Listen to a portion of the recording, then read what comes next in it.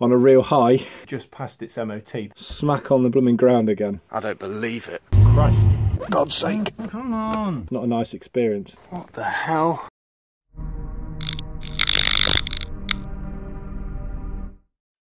Hi there guys and welcome back to the channel. So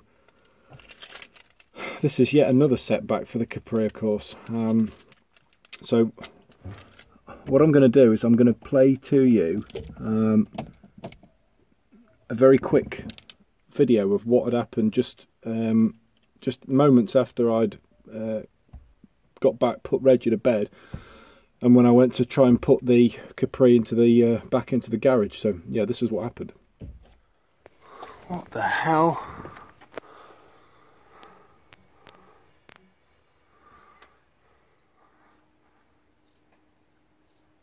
I need to get this thing disconnected quick. Jesus Christ. Alright, so I've just disconnected the negative terminal on the battery. I'm just looking up the car and there's, there's something here, look. What's this? Some sort of gaffer tape or some sort. Well, that's that's obviously fell off because that that I'm fairly sure was not there before, and it's directly underneath where this smoke has just been coming from. So something has clearly shorted out. I'll have to get it pushed in the garage and get it jacked up and have a look.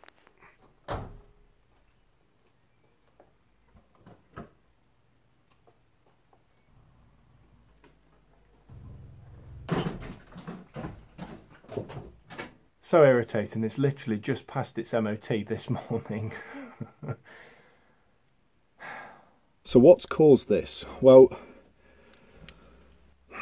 it's a bit strange. So what happened is, what I didn't, of course, pick up on camera because I didn't expect this any of this to happen. What had happened was when I got into the car to start it up, I put the key in the ignition, went to fire it up, and it went as if it was like a flat battery. And the battery light was staying permanently on. Um, so, okay, strange. Turn the key back off, took the key out of the ignition, and I could still hear it trying to engage as if it was trying to still start. Started smelling some smoke, like what the hell? Looked and I could see smoke pouring out the bonnet and in far greater content than what you could see on the uh, that I did capture just on that clip in the uh, earlier on. There was way more. It was pouring out.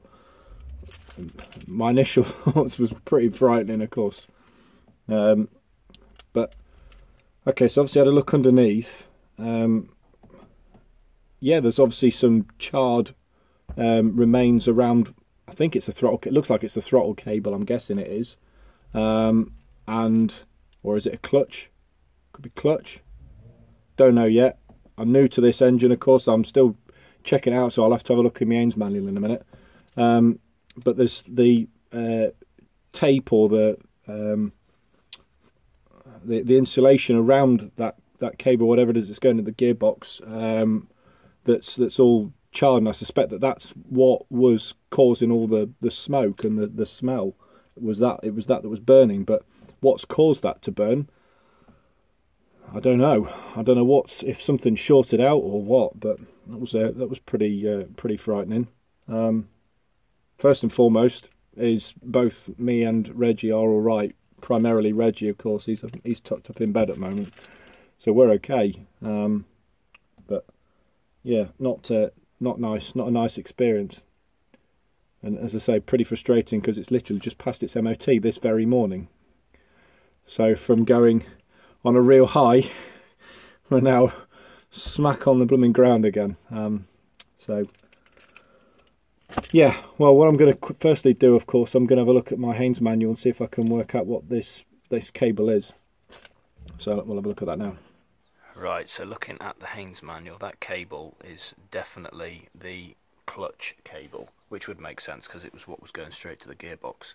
That um, rubber gaiter thing, that's what this is. So that's the gearbox here, and that gaiter was going over this hole.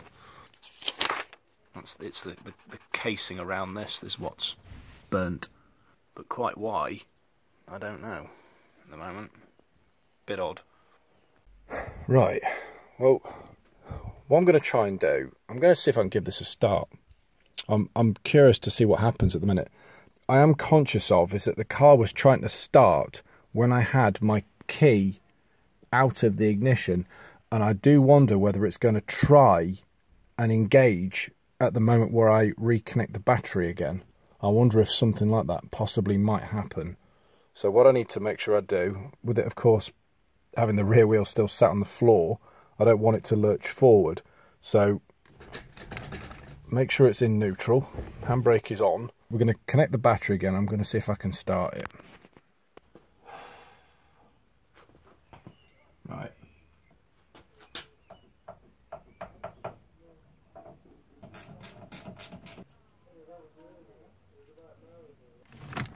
So we're in neutral.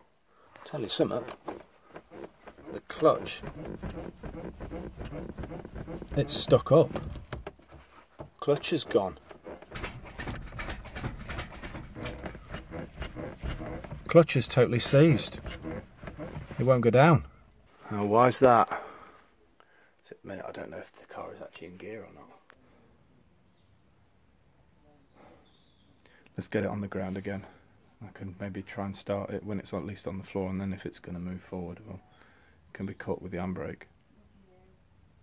Whereas if it's jacked up now, it's going to lurch forward and try and come off the axle stands, which I don't want it to do. A nice noise.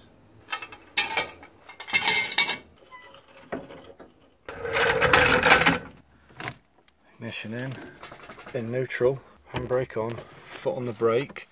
Is it going to want to try and go? The clutch is just not going down. It's stuck in the up position, it won't go down. There's anything happening underneath. Nothing visible, as you'd expect.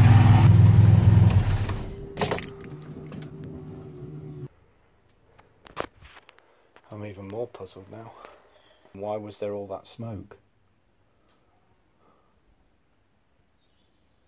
It's gone onto the clutch cable, so I wonder if it's just damaged the clutch cable.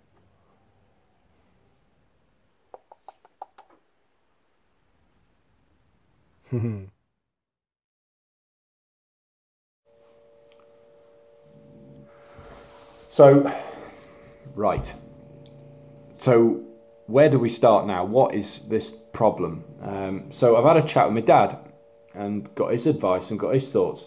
And what he thinks has possibly happened here is that somehow the clutch cable itself has touched something on the circuit for the um, starter motor and the ignition.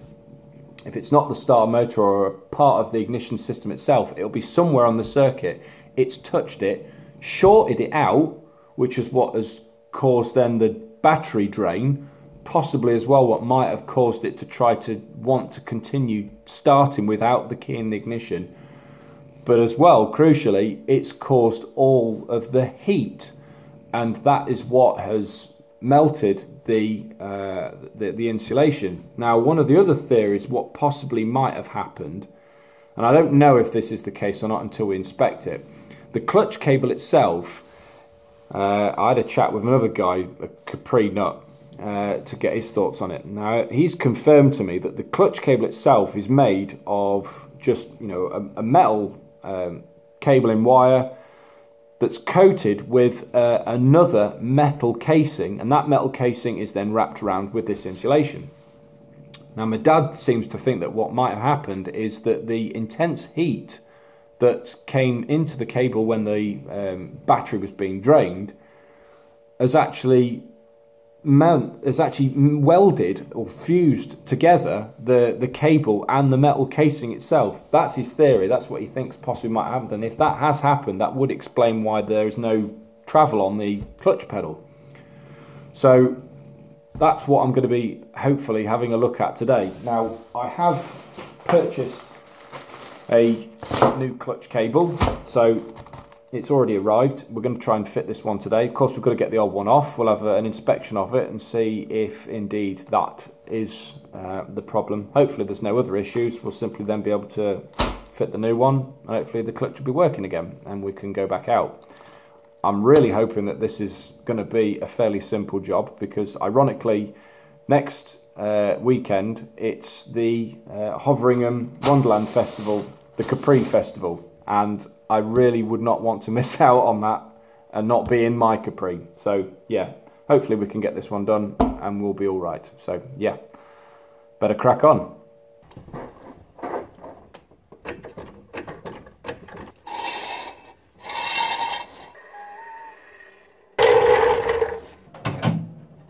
Well, obviously we've got to work out how it disconnects from inside the um, gearbox in here, and then at the other end of the cable where it goes into the car to attach to the pedal. Times like this, I'm very thankful for a Haynes manual. It looks like this is going to be a fairly simple job, but I've never done one of these before, so um, yeah, let's hopefully it'll go well. Right, so what we've got here, the clutch cable itself goes into the bell housing via this piece here. So that you've got like a rubber gaiter. So this gaiter needs to come off. Okay, so I can see now that loosening these two nuts and putting them further down the thread will allow me then to move the entire section of cable further up into here so that I can unhook it from this little eye just here. So we've got two 17mm nuts. Hopefully the idea will be that we'll hold one in place whilst turning the other and it should loosen. There we go. Yeah, that's worked. Down she comes. Should be able to turn that one as well. Grab the cable, push it through further like that. A bit fiddly. Go on. There we go. Through the gaiter. Get that out of the way, and that should come right through like that. Perfect. Right, it looks like the clutch cable is cable tied to another cable just further down there, so I'm going to cut that away. There's meant to be some sort of release pin on the top of the clutch pedal somewhere up here. I can't get very good visibility. I'm just wondering whether or not if I take this panel out of the way, whether or not I'll be able to see what I'm doing a bit more. Looks like it's only just a couple of screws. Take this steering column cowling away. I don't know if it's going to work. Probably I'm taking off more than I need to, but looks a bit uh, a bit tight down there anyway, and I can't really see what I'm doing properly. So I'm going to try that.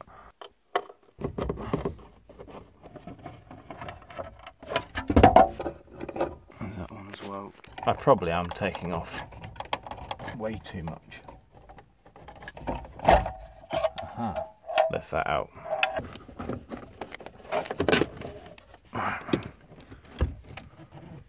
So if I disconnect the cigarette lighter, I should be able to get this panel out of the way.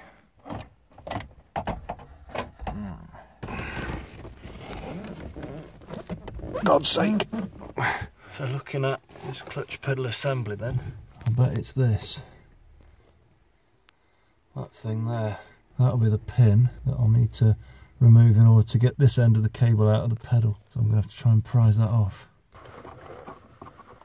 There we go. Right, access is just too blooming tight at the moment. I can't get in there properly, so I think I'm going to do is I'm going to drop it, bring the car out a little bit further so that I can swing it that way, give myself a bit more room this side so I can get in properly because at the minute I can't really access it. Obviously, I've disconnected the cable at the bell housing end.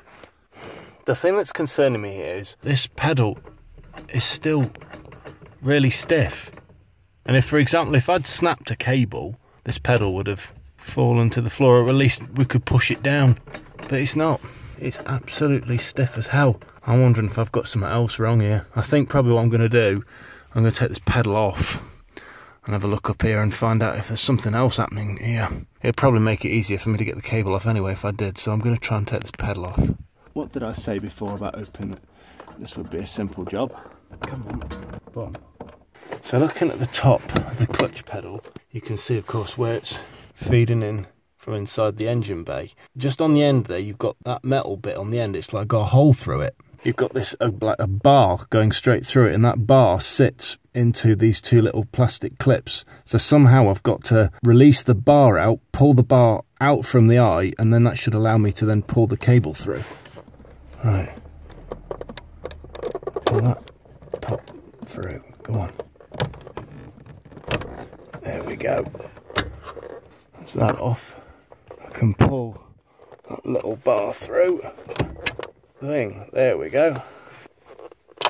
Boom. Right, so it should just be a case of now finding the end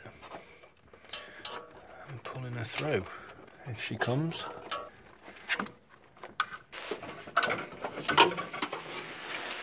There we go. One clutch cable removed.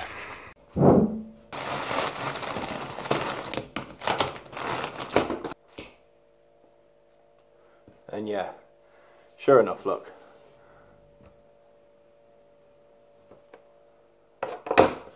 And as you can see, it moves when you pull it.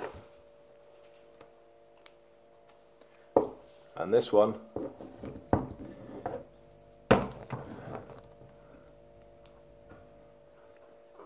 is doing absolutely nothing. It is completely welded inside. So the clutch cable definitely is the problem.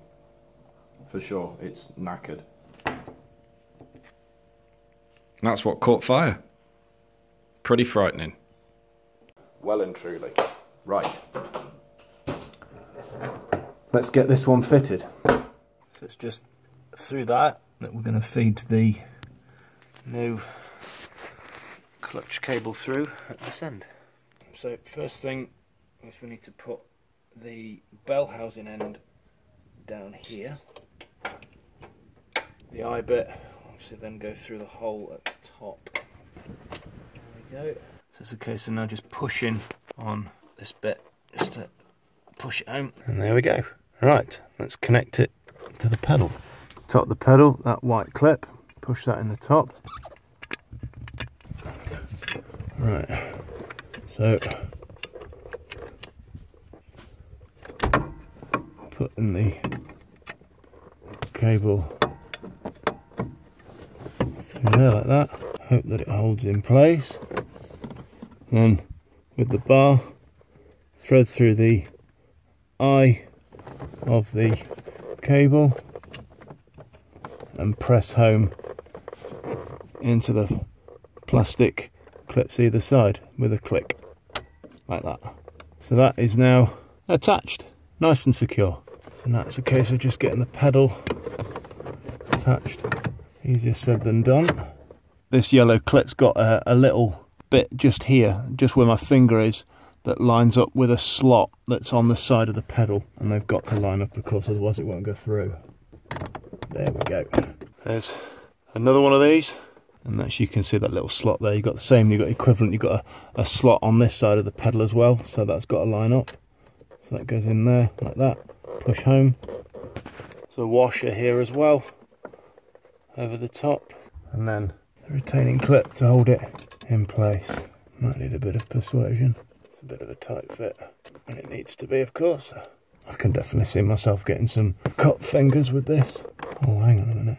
Ah, I see. Hang on. Right, no wonder it's not going on. When I push that, I can move that pedal in a bit.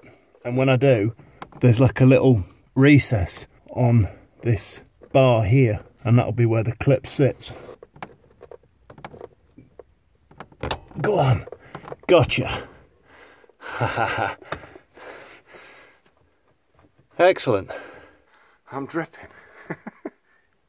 right, let's get it jacked up again. Right, the other thing I'm going to need to bear in mind um, is the the two cables in the centre of the picture. The one to the left is the new clutch cable, but both of those are actually touching the exhaust manifold, and they were quite close to it last time as well. So what I probably will do is, of course, I'll tie them together like they were before anyway. But what I probably will do, speaking with that same guy that was talking to me about the uh, cable itself, um, I probably will look at somewhere of trying to tie them somehow, attach them to the inner wing so that they keep well away from that exhaust. I'm just manoeuvring the cable into the correct position. There we go. And that should feed in quite nicely towards the bell housing. Right, we've got a problem. So here's the old cable. So if you can imagine with the connecting nuts at the right side of that tab on the end of the bell housing, the wire obviously goes through and connects up here.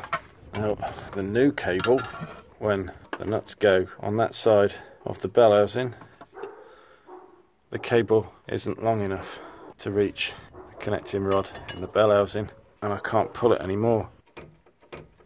That hitting sound, that that's the pedal on the inside, hitting the stopper on the side of the steering column. Cable's too short, it's the wrong one. I don't believe it. Right, so I've just got off the phone to a guy at Sutton Auto Factors to just see if they might have had a, a clutch cable in stock.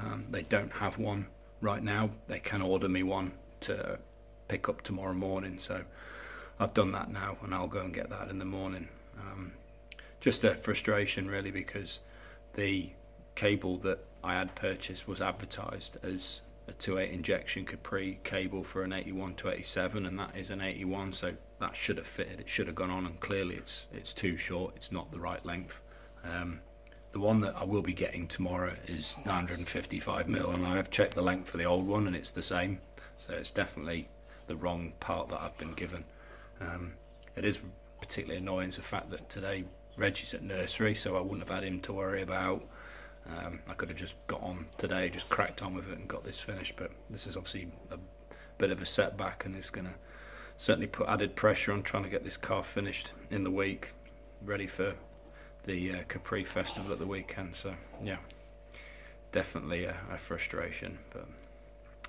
these things happen. Alright, I better get this uh, new one back off again, back in the packet. Let's see if we can try and get this off without having to take the pedal off now that I know how it goes. I probably don't need to do it.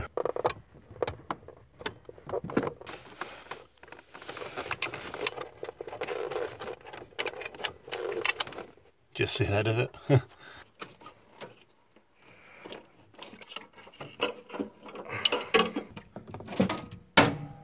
well now I'm really puzzled because I've not just put the two side by side and everything looks alright. So why would that not come out enough before? The thread's the same length. Yeah. Now I'm even more puzzled. This is just so strange. Right. Okay, so we're going to try and fit this cable back again and see if it might maybe it must have snagged somehow along the um, casing the bit inside the engine bay. That's all I can think of because it is the same length, so it should fit. Right.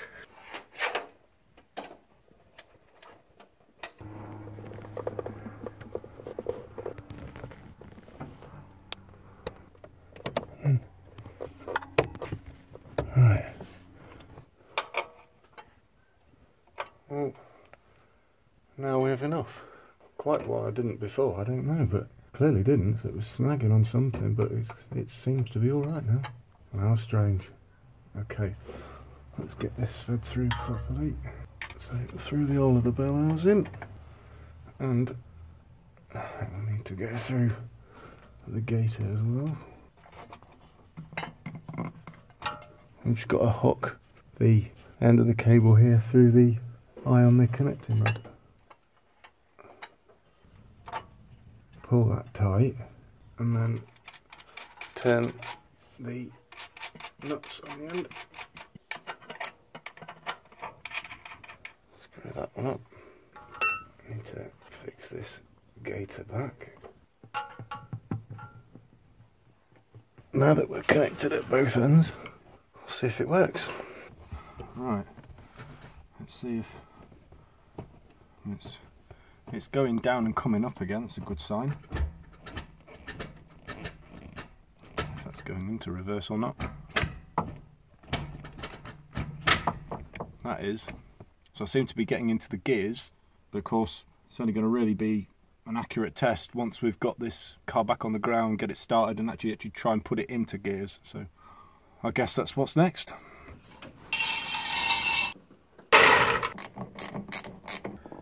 in neutral, handbrake, foot brake. Don't the windscreen wipers just yet. See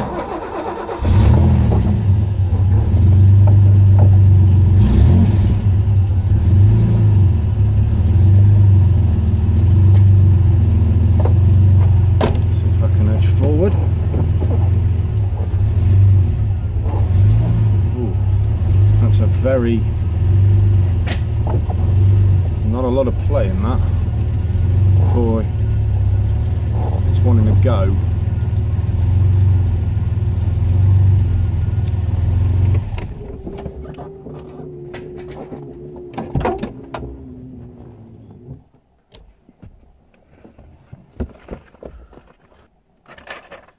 Might have to make a small adjustment to the them nuts on the bottom because the clutch only comes up a tiny amount and then it wants to go. It's not. Uh, it's not as. It needs to be coming up a little bit more for me. It goes in the gears, which is a good thing, so I'm happy with that. But I'm going to just make a few adjustments to them nuts at the bottom. Right. So I'm just going to turn these down. Okay, there's a bit more play in that now. See if that's any better.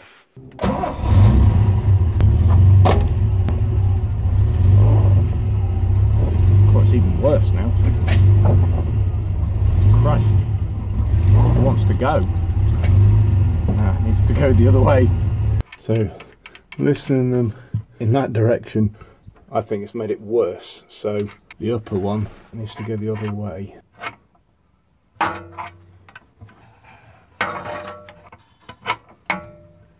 See if that's any better. Do that one up now. Up to it. Get the car down and have a look. Let's go again. Third time lucky. That's better. Right.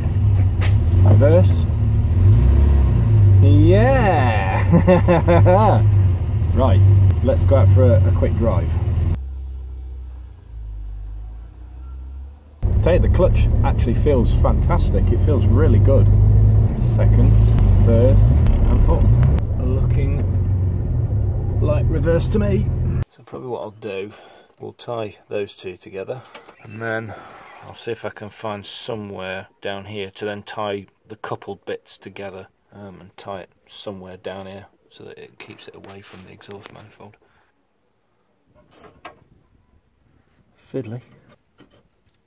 Oh yes, just excellent. Got one there, and then I'll group them together, tied it round that. A little bit crude. It's fairly well hidden in the engine bay anyway, and uh, it'll do the job. Question now is have I got time before I go and get Reggie to put these panels back? Let's give it a go.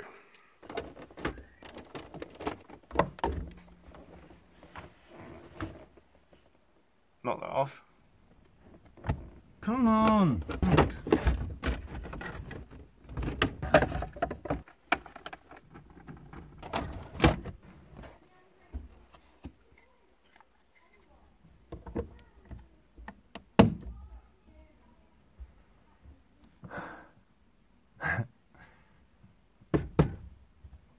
Beautiful 80s crap plastics.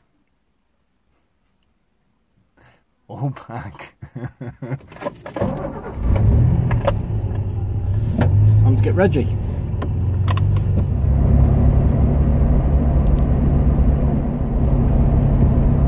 Well, so far so good. It's uh, driving perfectly. Better than it did before. The clutch feels fantastic.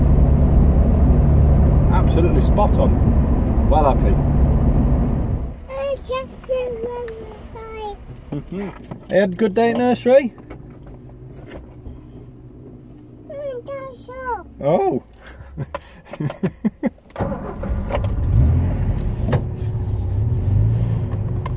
right then guys. Okay. So.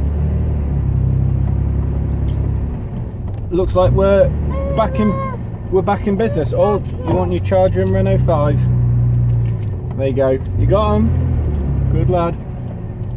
So yeah, looks like we're back in business. So um, yeah, really pleased with how that's gone. Um, it was a little bit uh, sort of scary to begin with because, of course, when you have a fire like that, albeit it was a small one, it's still nonetheless it's a scary thing. It's not nice, and and it's probably from this experience, it's probably the one thing that still eludes me at the minute is I don't know what caused the shorting out of the electrical supply for the battery.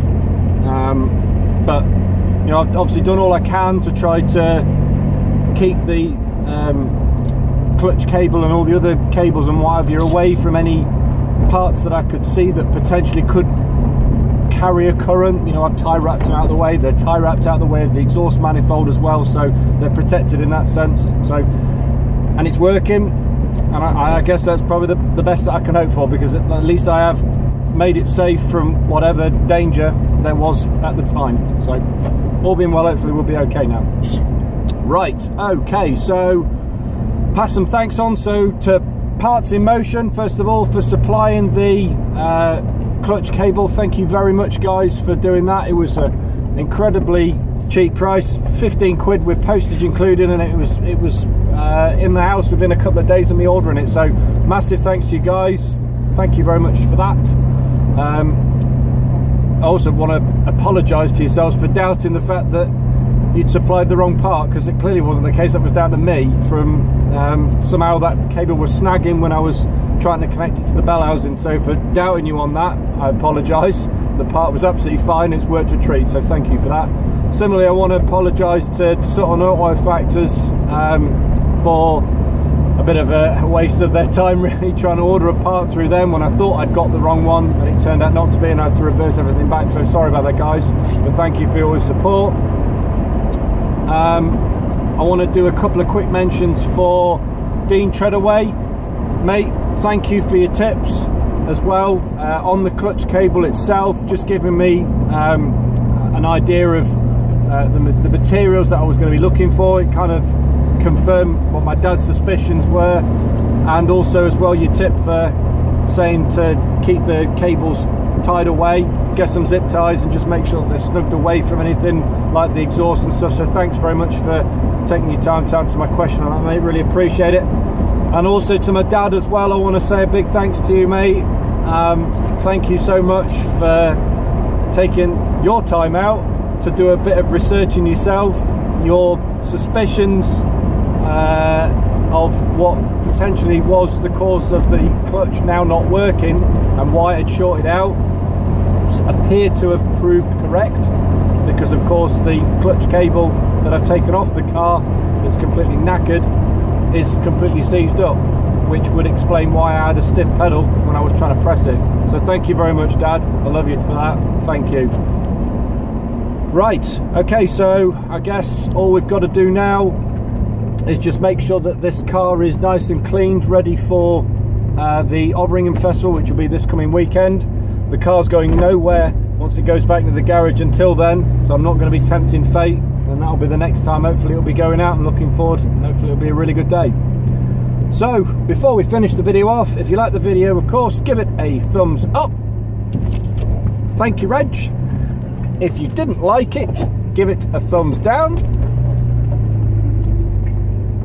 why are you grinning again? Are you not giving it thumbs down this time? Thank you, little man. if you want to put some comments forward, that would be greatly appreciated. If you want to get in touch with me on my email address, um, that's details of that is in the description below, as are links to my Twitter and Instagram account. So please feel free to check those out. And if you would like to continue to support uh, my channel or our channel, I should say, then just hit the subscribe button at the end of the video where you can also have a look at further content that's on the channel and hopefully you'll like the sort of stuff that's on there. Right, we're going to go inside now and get some dinner and uh, we'll have a, a, nice little evening before little man goes to bed and uh, just got to wait till mummy gets home. Until then guys, thank you very much for tuning in and your continued support as ever.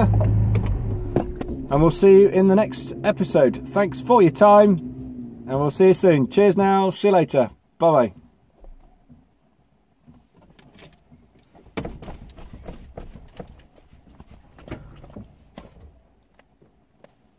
Better not leave that running. That'd be a bit embarrassing if I did that, mate, wouldn't it? Flat battery battery.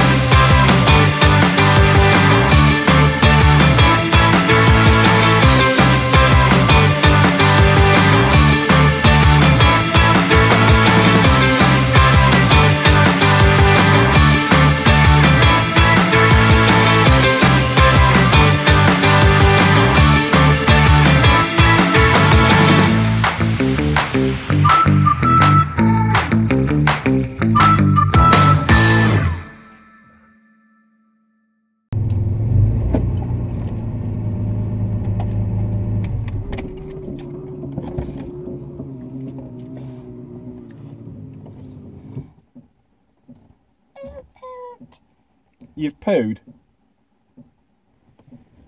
You've pooed. Thanks. Daddy poo. Daddy pooed. Daddy hasn't pooed. You going on with?